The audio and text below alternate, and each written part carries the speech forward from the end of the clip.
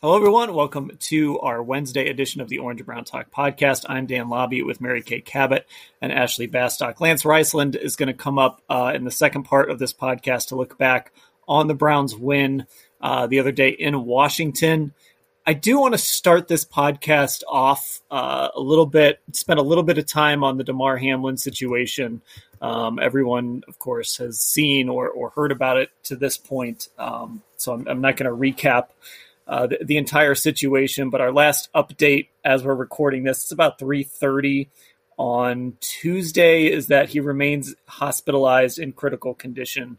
Um, that was the last update that we got from his family and and from the Bills. Um, certainly a, a chilling moment, a, a disturbing moment, Mary Kay. There's, I mean, there's not a lot to really say about it other than you know, we're certainly hoping for the best and, and praying for the best for Damar, but but just one of those moments that it, it kind of, you know, we cover football, and it, it kind of puts this all in perspective. I, I think. Yeah, you know, I've never seen anything like it. I have never seen anything like that in all my years of covering the NFL, thirty some years. Never, I've never seen anything like that, and I'm still completely upset and rattled about it uh, all day today. Just worried about him worrying about his mom, his younger brother. I read Tyler Dunne's amazing feature story from last year, uh, all about Damar Hamlin. It's so good if you get a chance to read that. Um, and it just makes you even really feel for him and his family even more. Uh, it's um, it's just so tragic and so sad. But I think the you know, the thing that I'm amazed about is that they were able to get to him and restart that heart. I mean, my goodness, uh, to be able to at least give him a chance to remain alive, it's it's almost mind blowing. I can't even believe uh, that you know that they were able to do that, and that he, you know, that he still is in ICU in critical care right now, fighting for his life and he is doing that because those medical professionals uh, did a tremendous job on the field. But, um, you know, I think the NFL has done the right thing by postponing the game indefinitely. Nobody wants to think about playing that game again yet. No players from either side uh, are ready for that yet. So who knows how it's going to play out. And I don't think anybody really cares about that right now. All anybody cares about is what they should care about, and that is the well-being of Damar Hamlin. So, you know, prayers up from all of us. I know, and uh, let's just hope that he pulls through this. And, and Ashley, I think kind of one of the takeaways watching all of this was just the outpouring of support and um, you know you don't see it a lot now on, on social media and um, in, in, the world we live in but you know all the NFL teams have changed their profile pictures to uh, to his number and his jersey uh, we've we've seen the, the donations to his toy drive. I think the last I saw it was over three million dollars uh, donated to his toy drive. Just that out over four million now. Mary Kay tells me so. It, it continues to go up. Just that that outpouring of support um, and everyone just kind of coming together and being human beings in, in all of this. Yeah, I think it's really rare that you get a moment like this, and you know, I think for a lot of times, like when people talk about any athlete, like not just NFL players, but any professional athlete, like they get talked about like their stats or a number on a jersey or a roster spot. Um, but I think this really kind of underscores that these guys are people. And I think a lot of what we do in telling their stories is to remind people of that. But I think a moment like this just kind of transcends everything. I mean, everyone came into that game yesterday expecting, and I think Lisa Salters said it on the ESPN broadcast that you know they were expecting this to be the game of the year, um, not just on Monday Night Football, but possibly the game of the year, given all the playoff seeding implications and how quickly it turned to none of this even matters. I mean, it was just stunning to watch in real time. Um, and yeah, like Mary Kay said, I mean, it's it's hard to think about anything else, even for me, like today um, besides how he's doing and what this must have been like for those players and his family. And I think it just hits home for players across the league because I mean it, it's just stunning and traumatizing to have to see something like that and see another young player go through something like that. Yeah, and, and certainly I think for a lot of fans, um, who maybe spent all last night scrolling Twitter or spent all of today scrolling Twitter, there is sort of a feeling of like, well, what what are we supposed to do? And I mentioned the I mentioned the GoFundMe for his toy drive. I mean, if if you're looking for something, that's you know you can go make a small donation. I'll put a link to that um, in the uh, the description of the podcast, or you know you can find it pretty much anywhere on social media too. Um, that's that's a good way if you're looking for something to do, um, something to kind of make yourself feel positive in this situation. Uh, that's that's certainly something that uh, that you can do. So we would encourage that. Um, okay, it feels a little weird to transition to football, I think, but we're going to for a minute because uh, I don't know, maybe people could use the distraction. So let, let's turn the page to this week and kind of set up the week and kind of what you guys are looking for this week as we head into week 18, the final week of the season, which, um, as of now, no changes to the schedule, but this is a, a very fluid situation. Uh, Mary Kay, what's something you're kind of keeping an eye on this this week? Well, first of all, I, I do think that um, that this situation is going to be weighing on the minds of everybody as they head back onto the football field. I mean, there's no way that as a player and as the mother of a player or the wife of a player that you're not going to have this on your mind, that you're not going to be worried about it. So I think that's one thing. I mean, we were looking at this game in Pittsburgh and the intensity of it. And, you know, maybe things will be different by the time we get to the game. Maybe we will have gotten some good news about uh, Damar Hamlin by then, hopefully.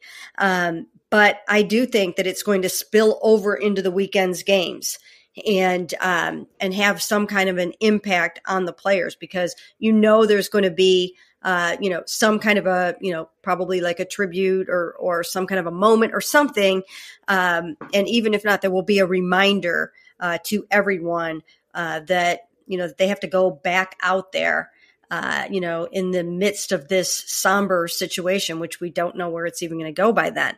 Uh, so that's that's one thing that you know that I've been thinking of is you know here you are thinking about you know Myles Garrett talking about hey I'm going to go out we want to go out there and uh, play the spoilers for the Steelers and then you've got the intensity of the Pittsburgh Steelers and how they really need this victory to, to try to keep their playoff hopes alive and you know just Kenny Pickett coming off of back to back game winning drives and that just sensational, stunning game winning drive that he had over the Ravens, uh, and just, you know, how much they really need this game. I mean, as Kevin Stefanski put it yesterday, the Browns are actually playing in something other than a completely meaningless game. They have a chance to impact, you know, the playoffs and they have a chance to, um, you know, impact the outcome of what happens with the Steelers. So, um, it's just going to be interesting to see how everyone is able to, do what they have to do to go out and do their jobs in the midst of, you know, one of the worst tragedies potentially that I ever remember in the NFL. Actually, I've always been impressed by the way athletes can compartmentalize. Um, I, I, mean, we've we see it. You know, we see see players get hurt, um, like serious injuries. Obviously, nothing to the level of, of what we saw last night. Um, but we see serious injuries, and then players turn around and they play the game and I'm always amazed by how they're able to compartmentalize. But like I said, we haven't seen anything like we saw last night, so that's going to be a, challenge for eh, players across the league to go out there on, on Sunday and, and play. Yeah, I mean, kind of like what Mary Kay said. Like, I just have the feeling already. It, it's only Tuesday. The Browns didn't have any kind of media availability today, but I know like Mike Tomlin talked to the Pittsburgh reporters today, right? And he he talked about this. He he you know referenced it in his press conference. I do think like I, I wonder if this is just going to kind of take over the whole week, and I think it, it probably should, right? I mean, for even even for teams that are playing for something, whether it's seeding, whether it's still fighting to make the playoffs, like this, I, I think you just felt it reverberate throughout the league. Like Dan, you talked about the reaction that, like, yes, I think players on some level are going to be able to compartmentalize and like go out there and play, but I, I mean, I think even these guys who weren't on the Bengals or the Bills. Like this is again, like I think just such a stunning injury to have happened, um, a medical incident, I should say, that it's it's hard to not like or to see a world where on Thursday we're just straight up talking about the Browns Steelers matchup, right? Like it doesn't feel like to me right now on Tuesday at 3:47 that that's going to happen. Yeah, I, I don't know that this is one of those weeks where you're just going to stand there and ask, you know, somebody how they're going to deal with TJ Watt, you know, on on on Sunday. Um, that's that's part of it. I, I, mean, I guess we'll see sort of where where we are by then. Um, hopefully, there there will have been some good news um, at at that point uh, before then. So, um, yeah, is, is, there? Go ahead, Mary Kay. You know, I was just going to say, um, Dan and Ashley, that you know, there's another uh, situation that has arisen from this tonight, the Pro Football Hall of Fame was going to be announcing the 15 finalists, the 15 modern era finalists. And it's a big deal for Cleveland Browns and for Cleveland Browns fans because Joe Thomas is is going to be one of them. I mean, you know, I, I can honestly say that, you know, he is he's going to make it. I mean, he's going to be one of the 15 uh, finalists that we deliberate on uh, when we get together uh, as as a group of Hall of Fame selectors and decide who's going into the Hall of Fame this year. And so this was supposed to be, you know, a really big day uh, for Joe, for Browns fans, for the Cleveland Browns, and they have delayed that out of respect for Damar Hamlin. Um, so as of right now, they're planning on doing that tomorrow night at 8 p.m. It will be announced on NFL Network. And again, this is not who's going into the Hall of Fame, but uh, who will be deliberated on in the Hall of Fame selection meeting. And again, it's 15 modern era uh, semifinal finalists, and um, and then you know then beyond that, then you've got some you know coaches and uh, personnel people too that that we vote on. But um, but so that has been postponed for a day. And I think that's the right decision too. I think everybody, when I look at this, I think everyone's handling things really the right way, right? I mean, nobody's saying anything about a game happening anytime soon uh, between the Bills and the Bengals. Uh, I think the Pro Football Hall of Fame and NFL Network did that. I mean, it's not a night to celebrate. I was trying, like, I was trying to figure out what are they going to do with this. And as just as I was thinking about that, I got the email from the Hall of Fame saying they were postponing it, and that happened a few hours ago, and I tweeted it. But um, but I think everyone right now is handling it the right way. And I will say that um, that in in times like this, it's very difficult to speak about these situations. It, it's difficult to cover these situations, and I really commend all the people like Suzy Kolber and and uh, you know Adam Schefter and, and, anyone that had to go live. I mean, uh, you know our own Bengals writers. We have three Cleveland.com Bengals writers that are covering this right now and have been up till all hours of the night doing the best they can to bring uh, the latest information to everyone. Uh, but I just think uh, in times like these, we have to be supportive of each other uh, as professionals, and we have to uh, really work hard to lift each other up and understand how difficult of a job this is and, and not do some of the other stuff that we've seen. Yeah, I mean the the nice thing about this is we can hit stop, right? When when we're done, we we can just hit stop. Uh, you yeah. know, to be in the situation that a lot of those people were in. I know um, Ryan Clark has has been getting a lot of praise for how he handled things. Scott Van Pelt, and then of course the people who were there um, on site: Joe Buck, Troy Aikman, uh, Lisa. Salters. Um, just just all that whole crew did, did a really nice job of, of covering the event and not speculating you know making sure the information they were getting out there was correct um, it's that, that's not always the case, and I, I, think a lot of it just comes down to Ashley, like you said, just remembering these people are human beings. Yeah, like, you know, we we cover them as football players, but they are also human beings, and when you kind of start at that point, you know, it's it's something that you can talk about. Yeah, and I think that's why, in particular, and I, I tweeted about Ryan Clark last night, like just the fact that they had somebody who could talk so well from a player's perspective, I think was key that they they got him on there as soon as they could. Um, because he's somebody who, who understands what this is like, right? And, and he talked about this. He talked about being in the hospital for one of his injuries and teammates coming and, and what that was like for him. Like, I thought that was really, really valuable coverage. And yeah, like, it's that was really hard to do because, like, we've been talking about, like, this is so unprecedented. So, I mean, they're figuring out things the same time as everybody else in a situation like that, right? And you have to stay on air and not speculate and be responsible. And I thought that crew handled it really well. I thought Ryan Clark handled it really well. And like you said, uh, uh him and Lisa Salters especially just stuck, start out to me in terms of like being honest and like showing emotion and not speculating. So really good job to all those people who who had to deal with that last night. Okay, I think that'll do it for um for this segment. Uh, obviously, not not a lot of football talk. It's a little weird talking football now. If you do want some football talk, um, I am gonna uh, be joined by Lance Reisland, and he's gonna look back at the Commanders game uh, after we take a break here on the Orange and Brown Talk podcast. NIL Now, a podcast dedicated to the name, image, and likeness of today's college and high school athletes. NIL is not a cherry on top. It needs to be thought about as a part of these young men and women's future as a nest egg for something when something goes wrong. You know, there's less than 1% of these football players make it to the NFL. You know, their plan B is sometimes not as lofty as plan A. This NIL thing, when you when you ask what's the next important thing, is to make sure that these players are coming to school for education, sports, but also NIL is a close third in that. It's an investment into these players now that they can take advantage of or leverage their name, image, and likeness to, you know, further their careers. So now you have a nest egg after you've invested so much time into your skill set in college. You should be able to leave college with something. This is NIL Now. And welcome back to the Orange and Brown Talk podcast. Now we'll turn our attention to on the field, and Lance Reisland joins us to look back on the Browns' 24 to 10 win over the Commanders. Lance, let's start with that second half. Uh, so at halftime, I'm looking at the passing game. I'm looking at where things are, and, and I'm just wondering to myself, what are we going to be saying if this continues? If Deshaun Watson continues to look like this?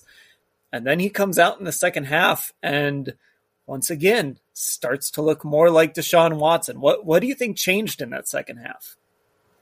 Well, I'm starting to see the uh, the connection uh, with their run game and their pass game, and that connection for me is he's seeing it. He's seeing that he's processing the information that he's seeing. Uh, his footwork is getting very good in the pocket. Uh, you can tell he's not antsy. A lot of that has to do with, in my opinion, of his ability to process what he's seeing, uh, and it's getting clearer and clearer. And I thought in the second half, not only he played well, but I thought the defense played well. Um, I thought the special teams, I thought uh, Bojorquez did a nice job. The punter did a great job in terms of flipping the field, uh, making them have long, um, long fields to go to try to score. Uh, but for Watson, I just think everything is kind of the rust is coming off per se, and he's just able to process the information he's seeing, um, which is kind of correlating with his footwork being better and better.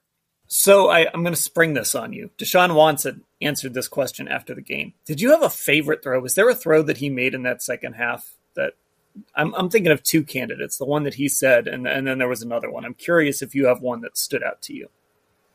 Well, I like the well. The first one I like was the out route, just because I, I those those ha, those out routes, the Cooper for the touchdown are fantastic in terms of timing. So that tells me um, the depth of those is unimportant to me, but the timing is important. So especially off play action when you're getting, um, you know, when you get three different drops and three and five step drops and off play action, t- his timing on those out routes is getting good. I like the, uh, the second touchdown pass to Cooper again was processing for me. So I really like that throw in terms of he was able to see that they were in cover three DPJ was going to clear that out, which tells me he's understanding the coverage, and he just had to wait for Cooper. So where the throw wasn't um, out, you know, wasn't awe inspiring in terms of like wow. Uh, the read and the footwork and knowing where he was going with the ball, I really liked on that second touchdown pass to Cooper because it told me he's seeing, he's understanding what he's seeing. Okay, so my favorite throw, and you would love the angle that we had in Washington. They have their press box in a weird place. Uh, most of them are kind of to the they're most of them are on the sideline. If they if they're not on the sideline, they kind of veer just a little bit around the corner. Washington's is almost completely in the end zone, so it's like that all twenty two view uh, mm-hmm. from from the end zone. And the David Njoku throw, I think it was David's only catch. That was a really great throw. And then the one that Watson pointed out was the touchdown to Donovan Peoples Jones, and I think it was sort of similar to why you the throws that you picked out. He just liked how they both read that play. That Donovan and him were on the same page. They both read the defense the same, and it ended up leading to a catch, uh, a catch and run for a touchdown. Well, the the touchdown, the pass to uh, Peoples Jones was really really good. You had like a, a, a double post and a rail route by the tailback, so he had cleared all that out. Uh, I'm assuming he was going one to two on the post routes, and I would I would say that Donovan People Jones was down his list three or four. So that was pr- that was probably one of his favorite throws, just because he had to go through that whole uh, progression to get to DPJ. The um, shot to Njoku was fantastic. It was a whole shot versus an inverted cover two. Um, really, really, the timing was incredible. Uh, I think it even shocked Njoku. So yeah, that was a great throw too, just in terms of he understood the coverage. Um, and I think he understood it even more than, even though I think uh, Njoku and I think all those receivers do a good job of seeing coverage. I even think it shocked him when he got up. He kind of had that look like wow, and you could see on the when we were watching the game that he had like he knew that Watson saw what they were trying to do in coverage, and there was a very small window to get that in there and cover two, and he did a great job. Yeah, great. So those are those are four throws right there that were fantastic. Uh, the the one other thing I want to bring up before we move on uh, from Watson is so the DPJ touchdown came immediately after the DPJ drop just the coach in you when when you hear a quarterback kind of uh, well not just hear a quarterback talk about it after the game but he shows it in action that you know hey you know you might have made a mistake but i'm going to come back to you and i'm going to believe in you when you kind of see that and hear that what goes through your mind well, it tells me they're both practicing really hard. So having a drop, you know, you have a bad throw, you have a drop. Uh, not a big deal, but it tells me, you know, especially from my time out of camp, DPJ is a really hard worker, and Watson was a really hard worker. There was there was a lot of uh, um, connection between those two, and just the work they put in. So it kind of just tells me it was a mistake, no big deal. Next throw. Um, I think they have confidence in each other, but I think that confidence comes from the work they put in. You have to believe that the guy who's you know you're throwing the ball to or you're getting the ball from is working as hard as you are, and I think both those guys are on the same page with that. Okay, let's move on to the turnovers. Uh, the Browns intercepted Carson Wentz three times. Denzel Ward had one on the very first series of the game. Grant Delpit took advantage of some really head scratching Carson Wentz throws. And uh, the the thing you said to me in your text was the importance of getting turnovers allows you not to have to play a perfect game. And this defense struggled to force turnovers early in the year. Now they've really been forcing them in, in bunches. Well, first thing it does, it gives you a short field. So you have two things that don't come into account because everybody always talks about points off turnovers, which are very important. But the Browns didn't get a ton of points off their turnovers. What they got was momentum, and they got field change. Uh, field the field was flipped, um, and it allows you not to have to play a perfect game. So you you don't have to make all the perfect throws. You don't have to be perfect on third down. You don't have to be perfect on your play action. You don't have to be perfect in the red zone because you're going to get more opportunities. When you get when you have turnovers, you just get more opportunities and you saw the momentum, you saw the the amount of like energy the defense had, that energy carried over to the uh, the offense. It allows, for some reason, when you get turnovers, it uh, the momentum allows all three phases to play really well together. Um, and you, and when you're turning the ball over, it just kind of all that hard work they're putting in, it, it, reassures them that they're doing the right stuff and the confidence. And you can see, I don't care what anybody tells me, momentum and confidence go a long way uh, even at the NFL level. And it's you could see, even though they didn't get a ton of points off those turnovers, they had a uh, kind of a swag to them that they were going to get the job done and they were going to play at a high level, and that carried over to the offense for sure.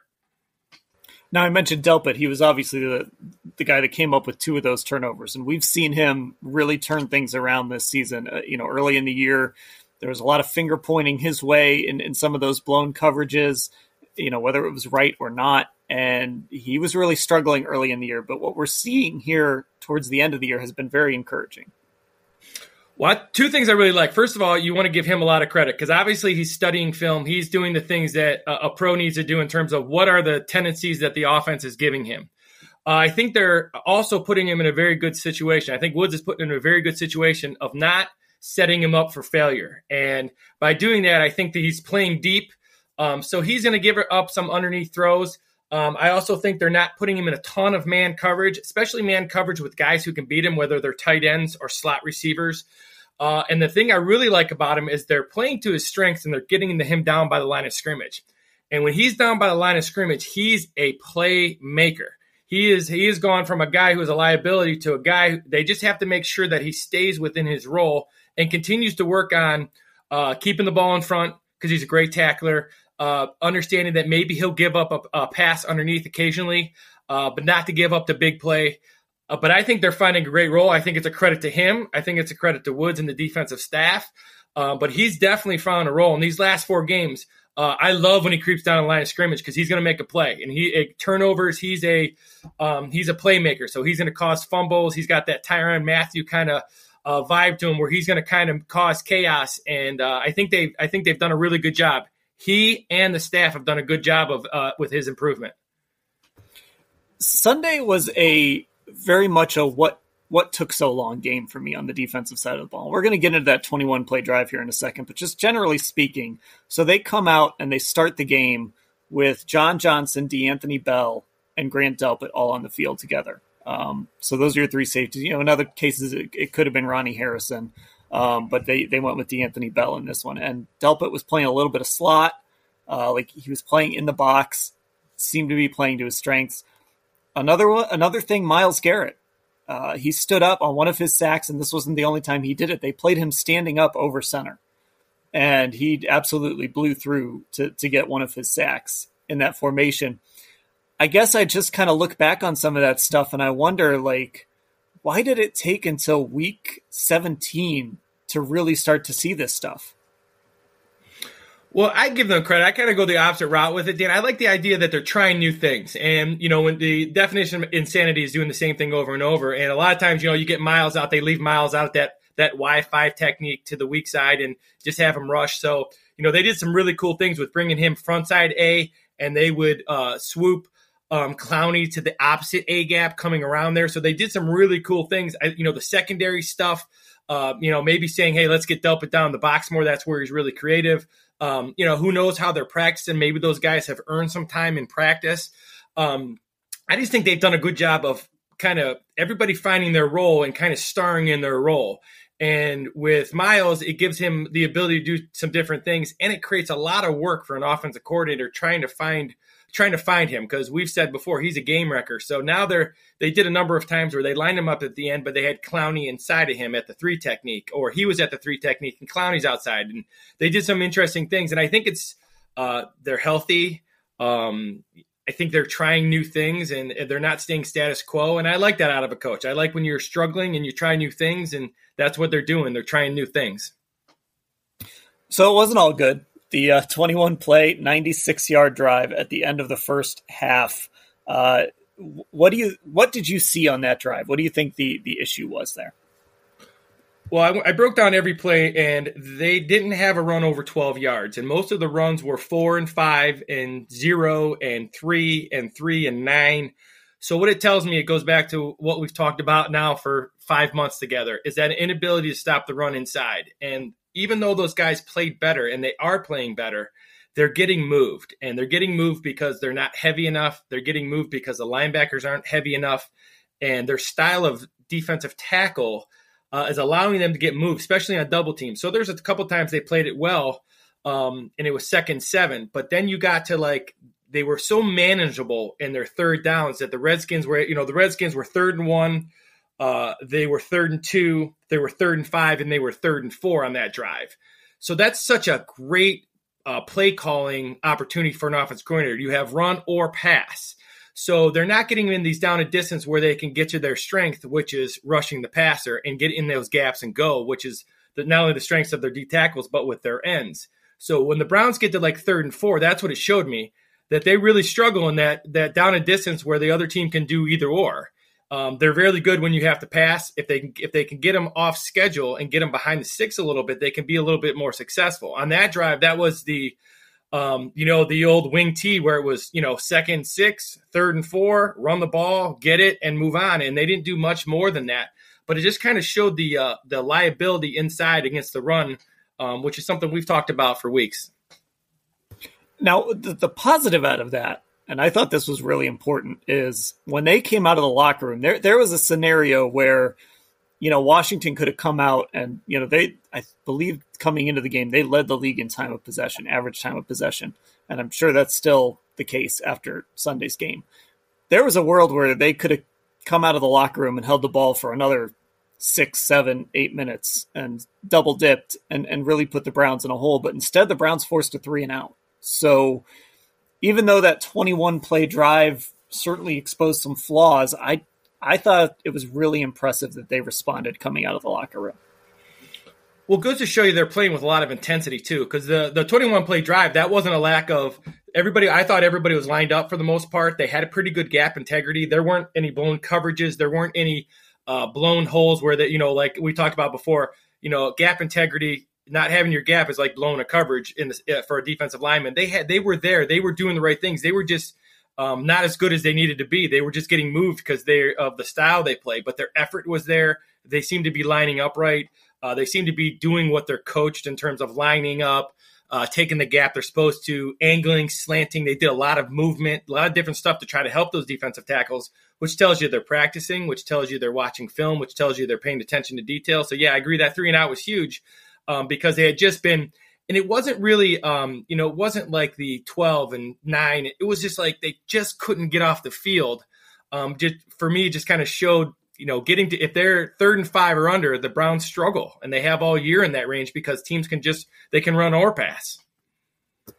All right, that is Lance Reisland breaking down the Browns' win over the Commanders. Uh, Lance, we'll have you on to do this one more time uh, next week, of course. And don't worry, Lance isn't going anywhere. We're going to find a spot for him on this podcast. If someone tweeted at us, uh, they learn something new every time Lance is on the pod, and I, I agree. I learned something new every time you're on the pod too, Lance. So uh, we will certainly continue to find a role for you here on the Orange Brown Talk podcast. Um, real quick, I just want to remind everyone I mentioned it uh, in the first segment of the show. I'm going to include a link uh, in the description of the show if you want to go make a donation to Damar Hamlin's uh, Toy Drive Fund, which I believe is up over $4 million now. So for Mary Kay, Ashley, and Lance, I'm Dan. Thanks for listening, everybody.